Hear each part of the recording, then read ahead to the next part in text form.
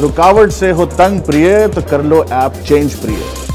देख बिना break download तक ऐप साध्वी प्रज्ञा ठाकुर पर सरकार एक बार फिर मेहरबान है। जी हाँ साध्वी को रक्षा मंत्रालय की कमेटी में सदस्य बनाया गया है जिसके अध्यक्ष हैं रक्षा मंत्री राजनाथ सिंह।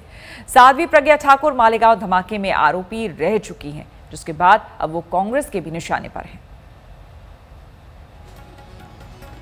आपको बता दें कि इस फैसले के बाद ही मध्य प्रदेश कांग्रेस के नेता ने साफ़ तौर पर कहा और विरोध जताया है कि आखिर इस तरह का फैसला बीजेपी ने कहा क्यों, लिया क्यों? बीजेपी के कथनी और करनी में फ़र्क है यह कहा गया। तो आपको बता दें, राजनाथ सिंह की अगुवाई वाली कमेटी में साध्वी प्रज्ञा सिंह ठाकुर को जगह मिली है। साध्वी को रक्षा मंत्रालय की कमेटी में ठाकुर को डिफेंस की एक कमेटी में शामिल किया गया है, उसको लेकर के आप क्या ये प्रश्न तो आप स्पीकर स्पीकर साहब से और प्रधानमंत्री जी से पूछिए। सर अगर कमेटी में इस तरह शामिल किया जाता है सर सर साध्वी प्रज्ञा ठाकुर को डिफेंस की एक कमेटी में शामिल किया गया है उसको लेकर के आप क्या कहते हैं ये प्रश्न तो आप स्पीकर स्पीकर साहब से और प्रधानमंत्री जी से पूछिए।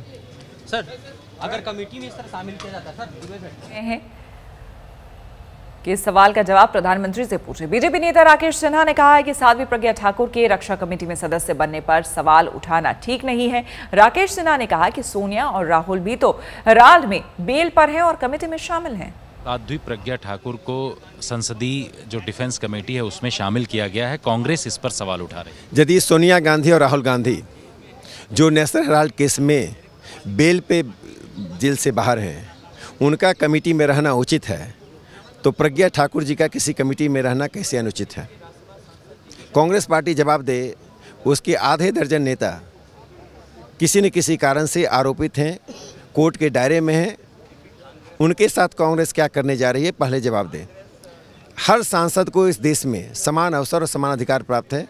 जो अधिकार सोनिया गांधी को प्राप्त है, वही अधिकार प्रज्ञा ठाकुर जी को प्राप्त है।